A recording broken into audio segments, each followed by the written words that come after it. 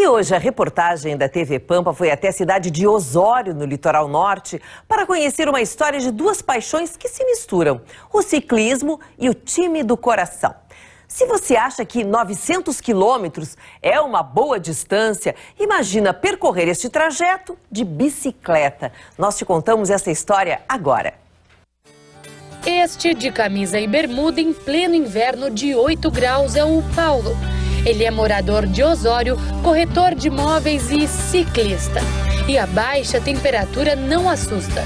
No próximo dia 19, ele sai de Osório de bicicleta. E o destino? A cidade de Montevidéu, no Uruguai. Mas e a esposa dele, o que será que acha disso? Loucura.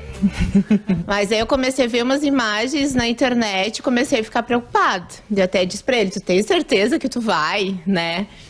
Aí a gente começou, e comecei atrás, tirando informação, né? Aí assim, não, Paulo, pensa bem, tá muito frio, né? Tu não é muito novinho. A ideia da viagem é unir duas paixões: o pedal de longa distância e o amor ao Inter, o time do coração. O Colorado joga no país vizinho no dia 24 de julho pelas oitavas de final da Copa Libertadores da América de chegar lá, há um longo caminho pela frente. No primeiro dia, Paulo vai de Osório a Rio Grande. São 320 quilômetros. A segunda noite ele passa no Chuí, mas até chegar lá, ele precisa atravessar a reserva do Taim, mais 220 quilômetros.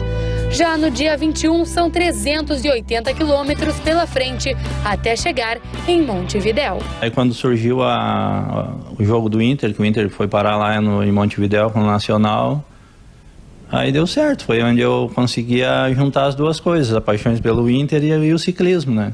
Aqui na sala da casa do Paulo e da Alessandra, os sofás deram lugar às bicicletas. Esta aqui é uma de mountain bike e, por ser mais confortável, já está sendo preparada para a viagem de 900 quilômetros.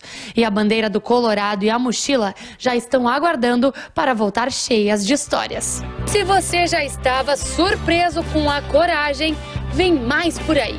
Ele fará toda a viagem sozinho e pretende voltar pedalando. Ao todo, são 1.800 quilômetros de estrada. O pessoal tem medo, né? Ah, tu vai de noite, tu vai, vai sozinho. Melhor horário para pedalar é de noite. Tu virar uma noite pedalando e ver o dia amanhecer, eu acho que é a melhor coisa que tem. Não tem igual. A paixão pelo internacional vem desde pequeno. Já o amor pelo ciclismo começou há cerca de dois anos e meio. Daí em diante, nunca mais parou. E ele garante, é bom para tirar o estresse. As sapatilhas e o capacete já estão à espera. O Paulo, ansioso. E nós desejamos uma boa viagem e uma volta com vitórias.